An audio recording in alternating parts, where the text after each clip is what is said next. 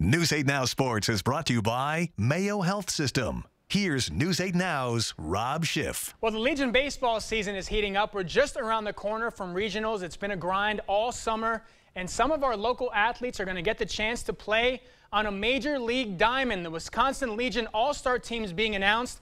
They'll play at AmFam Field on August 7th. That's former Play of the Week nominee Adam Olson right there from Post 52. He made the list. How about Evan Hubach from Viroqua? He made the cut as well Onalaska's Ben Foss will also be heading to Milwaukee, and so will this guy, the big man from Westby, Bowdy Dempsey, being selected as an All-Star. Let's take a look at some of the other All-Stars heading east. PDC's Colton Thompson gets the nod. So does Aiden Brzezinski from Stoddard. Troy Knutson from Holmen makes the list. Isaac Olson from West Salem. And Franklin Wiles from Tomah.